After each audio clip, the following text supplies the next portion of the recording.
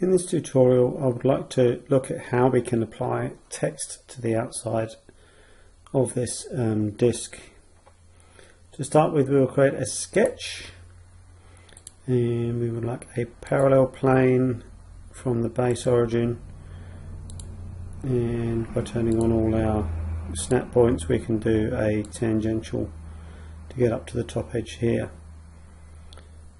So using the text profile which is found under the tools um, menu you'll notice that um, part of the section um, options it doesn't allow us to rotate.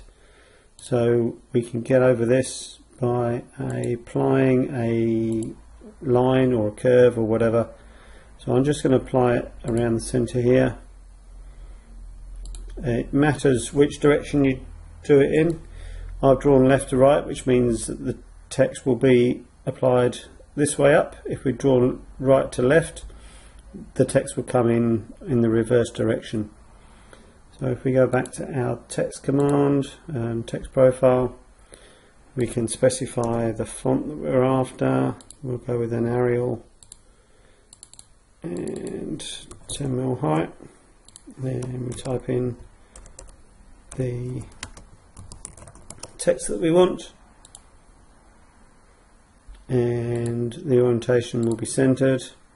So if we click up on this line here um, we can actually use that line that we've defined.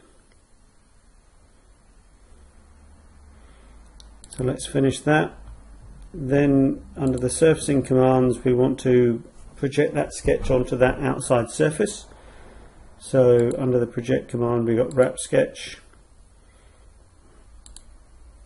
And that's the surface we want to project to.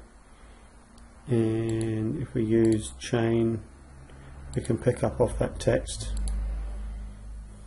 And then that wraps it around.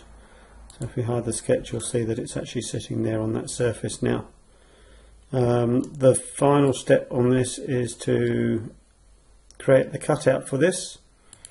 And in this case we want to create a normal cutout which is under the um, tools here. So we go normal and chain.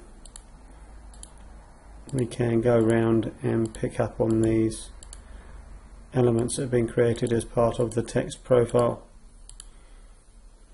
Accept that uh, which direction you want to cut. And then the final step is to um, project it in. So if we hide our wrap sketch you can see that text in here is now highlighted. Um, if we want to bring it up higher we can go to part painter apply a colour to the feature and then that just highlights it even better